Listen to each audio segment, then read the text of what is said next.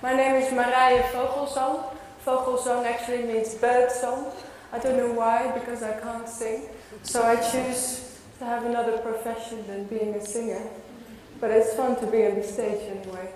Um, I graduated at the Design Academy Eindhoven in 2000. So actually, um, I was educated to be an industrial designer.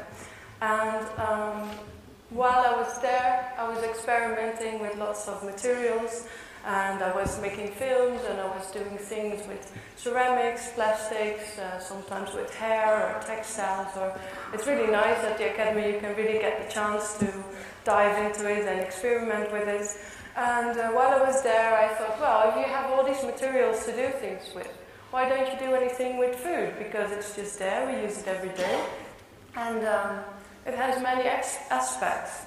So I started to work on food and developed things with food design in first chance. And well, many people start to ask, well, why? Because there are so many cooks already and food is there. Does it need to be designed? You can also think, well, why not? There are not so many designers working on food and design.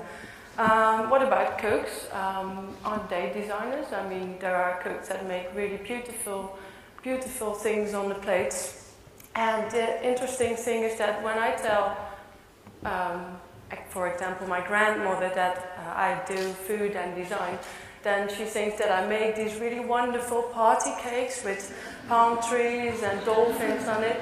And it's interesting because it's the first thing you think of when you think of food and design, that it is about shaped food. So I try, I don't even tell them anymore. but uh, I hope by seeing my presentation that you understand that I think there is much more for designers to work on when they work with food. Um, so actually I started to change my title from being a food designer to being an eating designer because I think food is designed, it's already there. I mean, I try to design out of the verb of eating. So it's also about what do you do with the food, um, about the harvesting of the food, what do, does happen with the food when you, when you cook it, what happens when you share the food, when you eat it, when you put it inside your body. There are many questions around food that also involve food and design. So um, actually, when I, design, when I uh, graduated in 2000, I thought, well, now I want to be uh, a freelancer, and I had my one-woman business, and uh, I did many projects, and I all did them by myself. So I was uh, the designer, but I was also the dishwasher. I was the cook. I was the uh, person that wrote the invoices, and I went to all the uh, projects on my own. And after four years, I was completely destroyed and tired, and I thought, well, I have to find another way to do this. So I found a very nice guy, he's my business partner, and uh, together we decided, well, actually, he has some uh, bakery shops in Holland. And um, he said, Well, it's so nice what you do. Wouldn't you want to have a shop? And I thought, Well, what should I do with a shop? I'm a designer. But then I thought, Well, if I want to have a design studio for food, why don't I have a restaurant with it? Because then I can have some guinea pigs and I can try things out. So we started in 2004, we started Proef. And Proef is a Dutch word and it means tasting, but it also means testing, like in a laboratory. So it has a double sided meaning, which was actually perfect for what I wanted to do. So uh, I was living in Rotterdam at that time, and we decided to, well, find a space, put things inside, and have my um, studio slash restaurant. Um, so this is you have to imagine that it's really, really tiny. It's just 100 square meters. And for me, I thought, well, this is my chance as a designer. Now I just have the chance to design everything in my own place. And I'm also the director, so I can decide. So that was interesting. So um, I really went for it, and I had everything designed. So also the the interior, but also uh, the way things are presented, and also the crockery, and also the cutlery, and everything. It, it, was quite a lot of things. And it was really important for me that this place would be like a homey feeling because I thought now I have the chance to show people actually what my work as an eating designer, what it contents.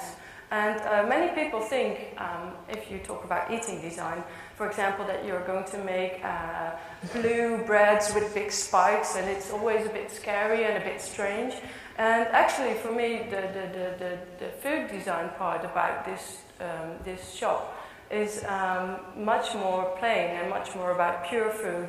And it's more the choice of food that we have than, rather than making really strange and, and, and, and awkward food. So I wanted this place to be very accessible for people, not too expensive, and um, a pleasant experience. And in that way, they would see that, and especially in Rotterdam, there are not many places that really have good food.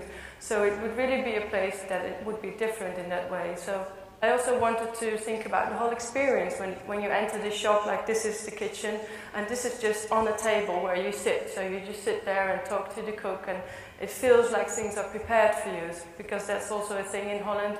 Um, most kitchens are quite close. It's, it's changing now, but still, uh, it's quite close, and, and you're really a guest. And uh, so, so, you're not really interacting with the people there. So also the way you're served was very important for me, that that's a part of the design. Um, so this is a picture of when we were opening, and uh, actually it was the first day that we would open, and we invited a lot of people, and they all had a, an invitation, and at the door we would ask them, uh, what is your date of birth? And so they gave the date of birth, and we wrote them down, and um, by the, your date of birth, you can see what kind of element of uh, astrological sign a person is. So you can see whether someone is uh, water, fire, earth, or air. Um, but we didn't tell those people. They just got a ribbon with a certain herb and a certain color around their wrist. So they sat down in the restaurant and we served them certain kind of food. So as you can see here, this is an earth person. So this person gets um, earthy things, like things that grow under the ground, um, brown colors, earthy flavors, very um, uh, strong food. Uh, these two people, they are uh, fire people. Um, so they got burned, a little bit burned food, flamey food, red food, fiery, and also meaty food. and it was interesting because people didn't know why they got this and the other person got that. So they, they started to discuss about the food and they started to question and, and they said, yeah, but you're, you're born in the same year as I am. Why do you get this and why do I get that? Some people did find out, some people didn't, but that didn't matter because they, they were aware about what they were eating and they were having fun with that. And what was interesting for me at that day was actually that um, those people were coming in and it was very exciting and we were opening. And um, we of course before everybody came we made a, um, a selection of all four um, different dishes. And uh, after two hours i noticed that only um, earth and uh, air people have came in because we only uh, handed out the brown and the white uh, uh, boards with food. And after two hours the, the fire and uh, water people came in. And that's really strange because I don't really believe in astrology. But I also, afterwards, I looked it up in the book, and apparently, um, fire people and uh, water people have the tendency to be late. So, I don't know, it's just funny to see. And it's nice when you work with food because, because it's really like an experiment, so you never know how people will react to it. So for me, it's not only the actual doing it and the designing it of it, but it's also uh, what I analyze afterwards, how people react to it. So it's also like a psychological insight for a little bit. After a year, it was an interesting experience, but it was really, really too small. So uh, in 2006, uh, I could get the opportunity to find a place in Amsterdam, and this is it. It's in a green park. It's really nice with trees around it. And I decided to actually, my initial idea to have a restaurant and a design studio was a fun idea, very landfill, but it was completely unpractical. So eventually the, the restaurant in Rotterdam is still there and the design studio moved to Amsterdam. So this is really my playground.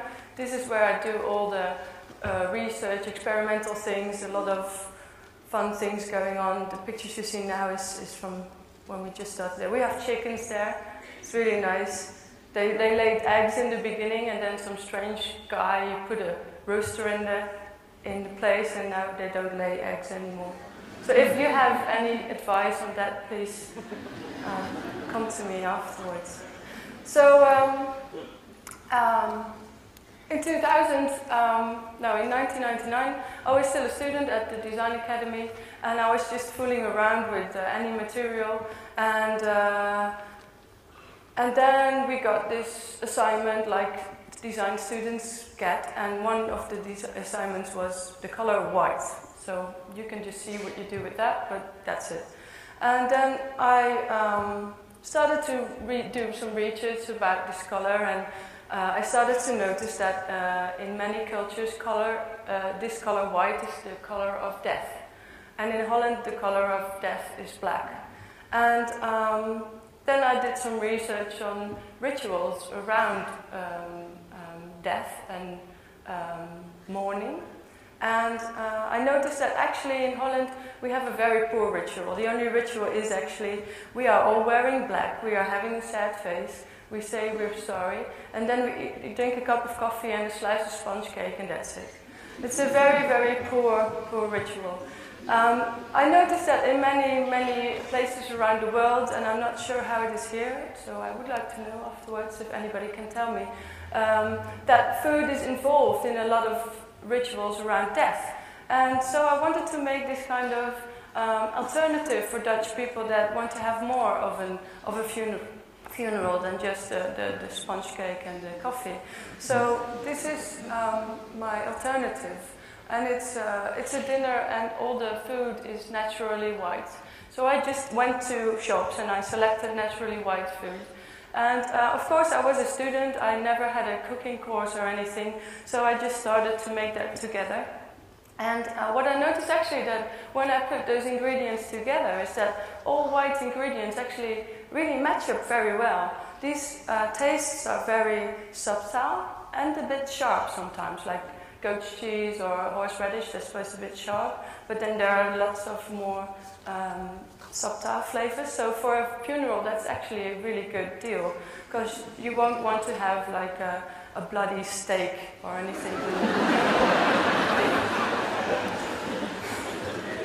so, um, so I also made the ceramics and the clothes and also the ritual of eating it, like your hands were washed first and you eat with your hands. And it's really nice because you actually just share the food, and I think sharing food is also food can also be healing to you. So food as a, for a funeral is. My mom helped me in the beginning, and I told her if I would die before her that she has to make it again, but she doesn't want to. I was asked uh, by Droog Design to do uh, a Christmas dinner, and I actually don't like Christmas dinners because Christmas dinners are all so full of cliches and turkeys and uh, Christmas puddings and Christmas cookies and crackers and all the cliches that you can think of.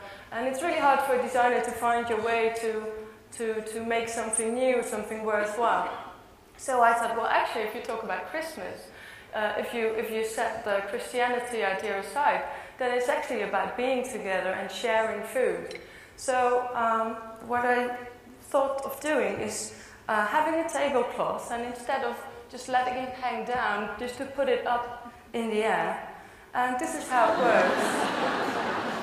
and uh, it's also my, it's, it's, it has a few reasons. It's, um, one of it is, is my communist idea that um, if everybody's in this tablecloth, you're all, all the same, so you don't, you don't see your, your real clothes.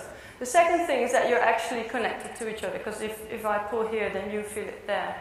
And, um, and, and it's also, I wanted to, to let people feel that they're connected to each other.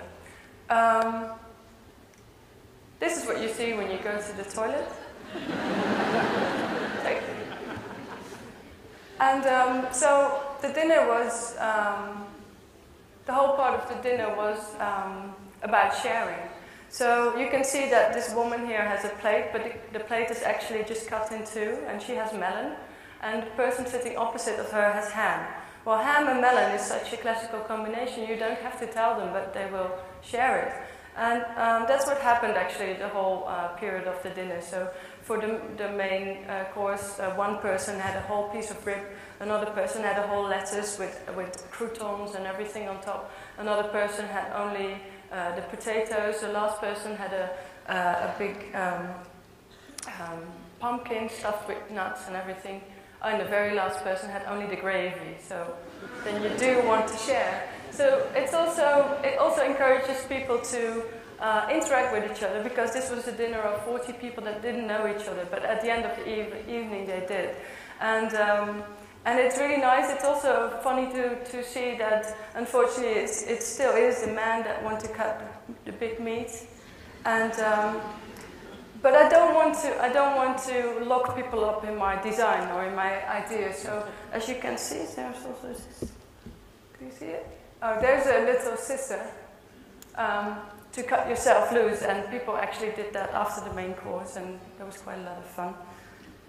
Um, because I think it's it's important if you want to set people in really strange, in a very strange surrounding, then I think it's really important if you want to do that to make them feel comfortable because, and by doing that, I think it's really important to serve really good food because people think because I do food and design that therefore the food is just a joke. But I think the design doesn't exist if the food is not good. So it has to be, a, it's a very important balance between uh, good quality food and an interesting design. And I think it only works if you do it like that.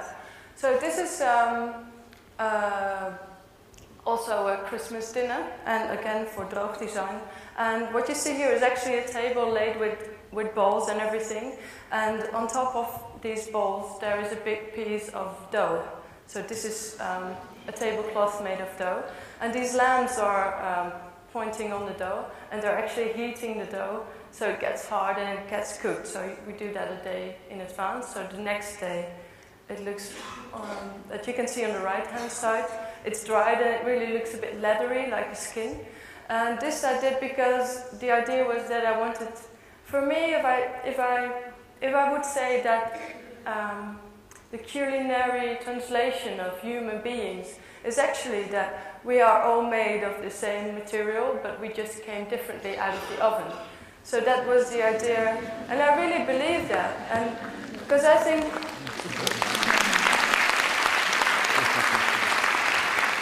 Well, I think it's really interesting if you think that we are all very different, but we all have to eat and we're all made, made of the same material and we can all share food.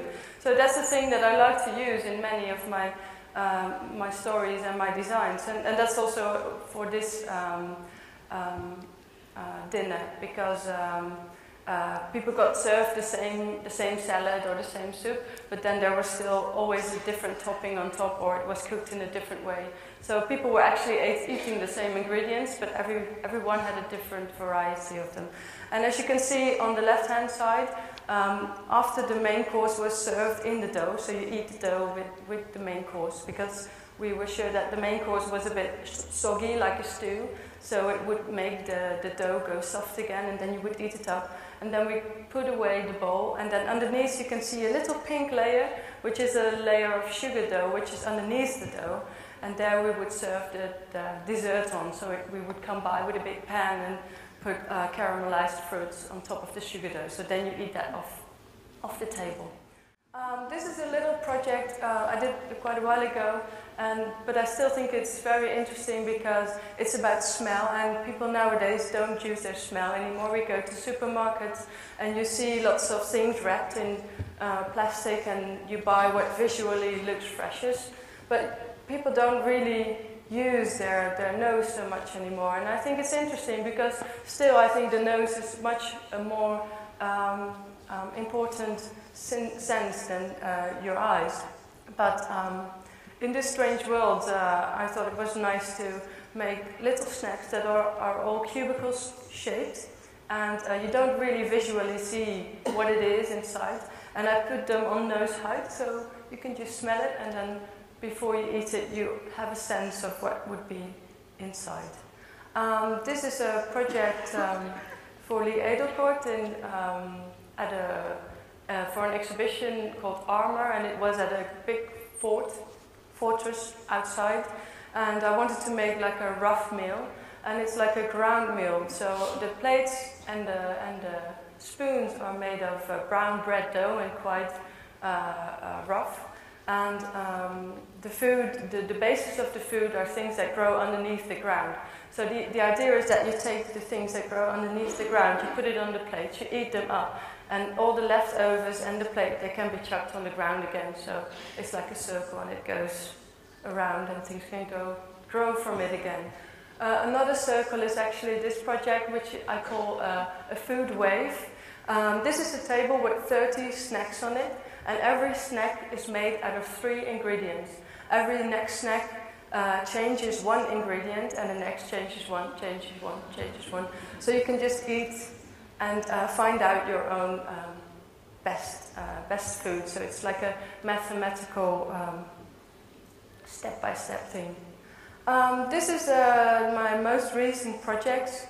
Project. Uh, two weeks ago, I went to Lebanon. I went to Beirut, and uh, I did um, a workshop and a lecture there with uh, actually people that work on the first farmers market of Beirut, and I thought it was extremely interesting because I uh, wanted to collect stories about food and I wanted to collect stories about them. And I, of course, I also wanted to know about food and war because, um, well, obviously, if you go there, you can't go around it. And also, it's very much of my interest to know how people are with food when it's wartime. So uh, I did a workshop with many people from many different backgrounds, and um, um, well, I was talking to them about actually their favorite food, and uh, we called this project Taste of Beirut. And I also uh, talked about them about the war and about actually uh, what a person wants uh, uh, when, when you think about food, when you think about back uh, to your childhood. And actually, all of them felt that their family was very important to them. And when it came to um, war, well, bread was, was the, the, main thing that they thought of. So what we actually did was in the market, eventually uh, we presented uh, um, uh, a green line. And the green line, that is uh, actually the Berlin Wall of uh, Beirut. It has been there in the Civil War. Um, it divided the, the city in two, and it was called the Green Line because nobody walked there for years, so all the plants were growing there, and there were snipers, and it was a very, very um, bad situation. And so we wanted to make a positive green line uh, of bread bowls. And the idea was that all the women, they were making their own bread bowl, and we made them green with parsley juice, because parsley, um, that's, um, well, there's no Lebanese cuisine without parsley, so there you go. And so we made green bowls, and I asked all the uh, people that um, joined for the workshop to write their own story about food in these bowls. So the bowls didn't contain actually food, but they contained the stories and the emotions of these people. So um, the next day we presented all these bowls in the market and we invited everyone to come and share the food and come and share the stories. Um, so while eating, the, so we were eating the bowls together with some kind of cheese and honey. Um, so in that way, the stories would also become part of your own body and about your, and they could share their ideas with them as well. So uh, the people you see here were people that um, were there on the market, and it was really nice to see that actually the, these people took over my project. Eventually, it wasn't. It was still my project, but it was even more their project because we gave it an Arabic name, and, and they were as much as, as much passionate about this project as I were. And uh, down, downstairs, you can see them uh, doing all the cooking, and uh, it was great fun. Um, this is um, a tattooed pepper. Um, I really like to use words with food because then you can really communicate with the person that's going to have your design inside their body. I think that's an, a weird idea actually. And um, so this is like a pepper. I made lots of pepper with words on it, and then the words would resemble uh, what the filling of the pepper would do to your body. So this pepper would be filled with, for instance, figs and goat cheese, because figs and goat cheese give you energy. So people uh, would just see a lot of peppers with names on it and choose uh, for what it actually does to you instead of choosing for the, the filling of the pepper because they wouldn't know what they choose for. These are actually um, cupcakes with a bit of uh, lack of attention. Um, they all shout, Take me, take me, I taste best, oh, take me. And it's funny because people really are serious about picking those things. And, and it's just sugar and, and sugar and cake, and they don't even taste so nice. But it's a very interesting way of how you can communicate and how um, people can envy each other about having the nicest cake And I think food is very, very strongly attached to being little and being a child. And um, so I think this is some kind of interesting experiment how the, the child in a person can raise up again. Um, this is actually a tasting about ham in the Van Gogh Museum in Amsterdam. Um, there's an exhibition about Barcelona going on, and I wanted, well, it was, a, it was an interesting mix of wanting to, uh, because I can't forget my, um, my Dutch background, so I made a flower corso, but actually the flowers were uh, um, made out of ham, and we used the very best Spanish ham and also a slow food Dutch ham, so you could actually um, try them all out. This is a project in Milan with, uh, with elderly people serving because I think it's very important about giving attention to people. Uh, this is the same project in Tokyo. This is a tree that uh, we made that is actually three meters high, and we are baking leaves on the light bulbs in the tree, and they fall out, and you can actually eat them. This was for a physicist congress, which I think is very funny, funny uh, client. Um, this is a project um, it was actually a tasting, so people could taste the differences of the different tap water because of the 12 provinces. And uh, so I wanted to give it like, uh, I wanted to give the water terroir, like wine. Like it's really important to see where it comes from with wine, but not with water. So you could just say, okay, tonight with this dish we drink uh, the water from Amsterdam, and this, with this dish we have the Rotterdam water. Because actually they all taste really different. And I set them in, a, in an empty water purifying basin in big shelves. And in every shelf there was 130 liter bottles uh, of water. And because 130 liter is what an average Dutch person uses every day. So it's very shocking to see that amount of water standing in front of you. Uh, food and sticks um, in Dakar was quite nice for Queen's Day. Uh, this project I want to tell about, this is for, um, for a children's hospital in New York in the Bronx. And these people asked me to do something because their children, they are overweight. And they are very unhappy because they eat very badly.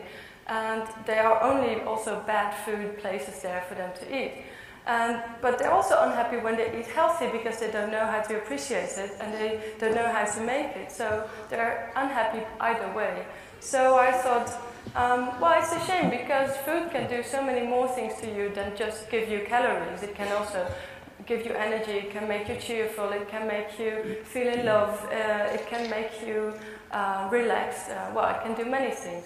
So I made a range of snacks in the colors of the rainbow. So you can see it starts from white and goes to yellow and red and all the colors. And um, Leonardo da Vinci once started with this idea about uh, a, a, color philosophy. So uh, he says, well, red gives you energy, blue makes you sleepy, that's quite commonly known.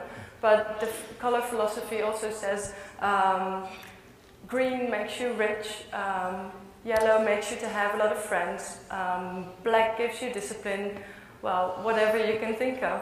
And it, I don't mind if these, um, these things are not um, um, proven. But I do think it's interesting that these children can cho choose for their food in a new way because now they can think, I'm going to eat this and this will make me happy because it's orange, or I'm going to eat this and it's green because I want to be rich. And in this way, they will choose their food in a different way and they won't think about bad food or good food. They just be happy. And, and in the meanwhile, of course, it's all healthy food, but I don't talk about that anymore. So this is actually the same project presented in another way. Um, this is um, uh, sugar. It's cutlery, cutlery made out of sugar.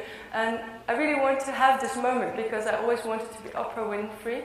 So please have a look under your seat. Some people have like, some people have, this is actually, some people have a spoon. And some lucky people have a gun.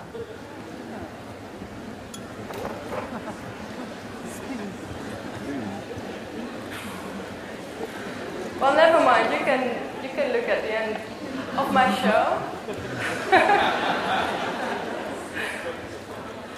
well, it's actually just what sugar can do to your body. and this is what the spoon does. It just gives you no dishes to do. Good designs are no dishes. Uh, this is garden cress that you can grow in your clothes. Um, this is a 200 people dinner for Philips Design, and it's um, the food is presented in the long trays that you eat from together, and the light bulbs are keeping the light, are keeping the food warm, and it's only the only lighting in the space.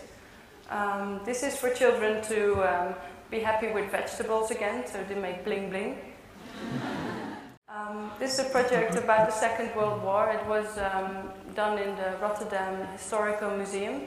And um, I find it a really scary project because um, I wanted to um, show people what, what they actually ate when it was wartime. Uh, but I never wanted to uh, make people angry or feel sad or anything like that. So I got original war recipes from the Resistance Museum in Rotterdam. And uh, I made little snacks that are just like the recipes. And I pre presented them in boards, and they could get a coupon. And with the coupon, they could get some surrogate coffee, and then they could, could get their ration of little snacks. And what happened there was actually that some people have actually survived the war, and uh, they ate the food, and they got back memories because of the food. They got back memories from the war. And um, I was really intrigued because, of course, these memories were very emotional and sad memories, but they were also very precious to these people because they have forgotten about them. And for me to notice actually that uh, as a designer, you can make things that people put into their body, they go to their stomach, but they also go to their mind. And that with my designs, I can actually go into people's minds and give them back memories. I think for me, for me that is the reason to work on food as a designer.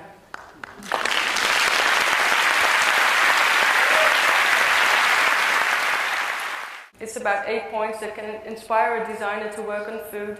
The first one is senses. It's chemistry about what food do, does to your body. It's culture. Everywhere in the world we do it different, but everybody does it, so that's like sex actually. Um, technique, material as a designer, it's just never ending uh, grow, where does it come from? We totally forgot about it in the Western world, and it's a very important thing to think of. Psychology, what it, does it do to you here? Um, the action of food, are you sharing it, are you eating alone, are you eating on your bike or whatever? Uh, and society, I mean, we're living in the strangest, strangest moment of time in history when it comes to food. We're eating mass-produced food, we're, we're slaughtering um, animals in a very, very, very bad way. Uh, we're eating uh, chemical things, uh, but we're also having slow food, and we're also all trying to eat biological again. And um, it all clashes, and it's a very, very strange way. We're flying around the world with strawberries because it's cheaper. Um, so, well, for designers, there are so many things to do. Um, so this is what I end with. This is the farting song. I don't know if you know it, but this is a way to sell beans again. So that's it.